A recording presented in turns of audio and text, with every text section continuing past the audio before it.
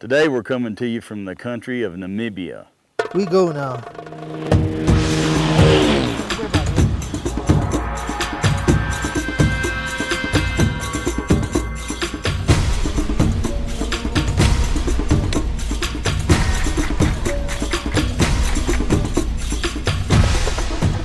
I'm going to introduce you to a man named Cobus Honeyball. Hello, I'm here. He's the owner and operator of Thirstland Safaris.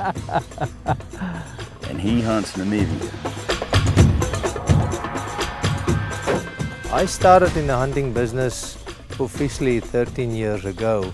Uh, previously been involved with aviation and uh, which is another passion of mine but of course the hunting part I've been since I opened my eyes Welcome to Namibia.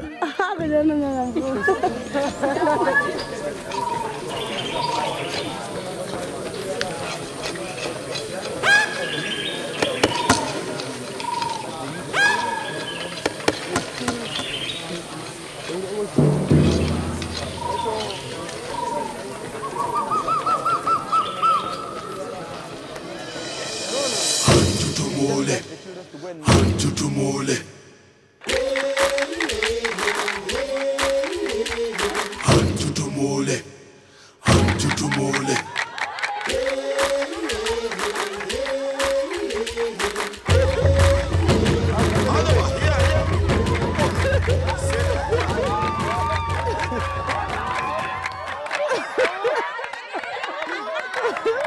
Oh, that's and saying thank you of them being with me. She's running with me 26 years of her life and giving it back to me and I just can say thank you. Thank you to my daughters, thank you to my wife Annette, and thank you for the family support that I have. Cobus, Hendrik, and Francois, can't thank you guys enough for a wonderful, wonderful safari. All the information's right here as usual. If you want to hunt Namibia Thirstland Safaris, that's all you need to know. They cover it from, well, from south to north and in between. We've hunted all of Namibia. Because of his air service and all the connections that he has throughout the country, it's you get to hunt the whole country.